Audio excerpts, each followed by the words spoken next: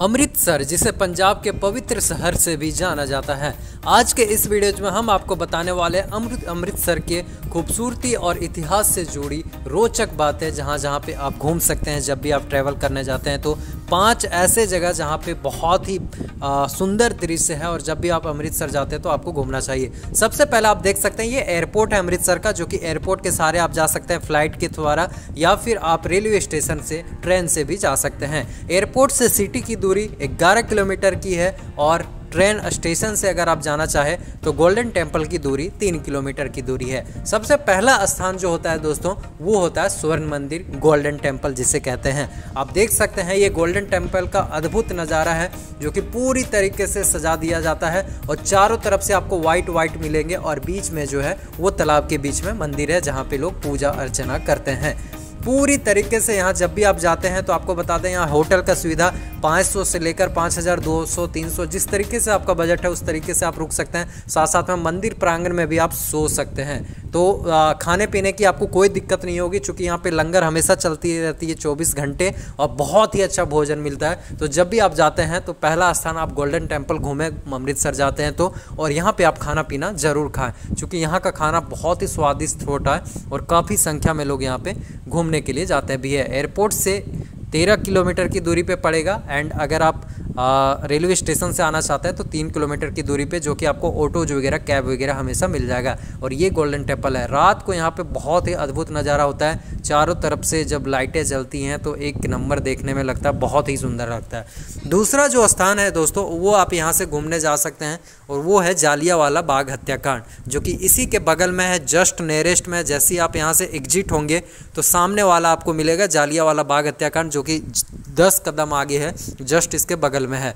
यहाँ पे जालिया वाला बाग हत्याकांड में आप देख सकते हैं किस तरीके से हत्याकांड जो पहले हुई थी, वो अभी भी यहाँ पे चिन्ह है और पूरी तरीके से दर्शाया गया, दिखाया गया। तो ये जगह भी आप कभी मिस ना करें, यहाँ भी आप घूमने ज़रूर जाएँ। क्योंकि यहाँ पे आप देख सकते हैं, गोलियों का जो चला हुआ था, वो दीवालों में जो लगा है, लोग जो कुओं में कूदे हैं, वो सब कुछ आपको यहाँ पे दिख जाएगा। और ये मार्केट है जहाँ पे आप घूम सकते हैं, मेन रूट में है।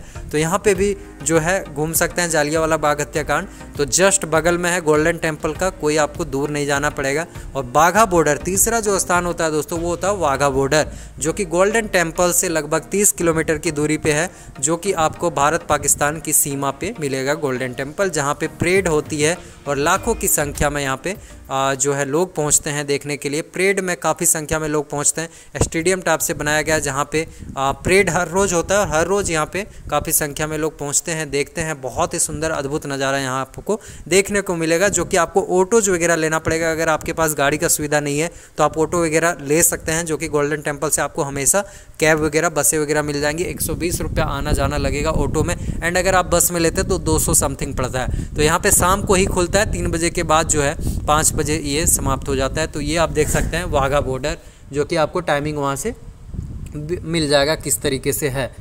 चौथा जो स्थान है दोस्तों, वो आप यहाँ से जा सकते हैं। ये देखिए, यहाँ परेड हो रहा है तो ये काफ़ी अच्छा लगता है। ये तीन स्थान जो मैंने बताया, बाघा बॉर्डर तो आप बिल्कुल मिस ना करें क्योंकि एक और पाकिस्तान, दूसरी और हिंदुस्तान है तो ये पूरा आपको देखने को मिलेगा। और जोश के साथ यहाँ पे लोग परेड करते हैं, वो देखने को आपको मिलेगा। तो बहुत ही सुंदर लगेगा। आप देखिए, तैयार हुआ है तो अभी यहाँ पे चालू भी होगा तो ये बहुत ही सुंदर लगता है यहाँ पे।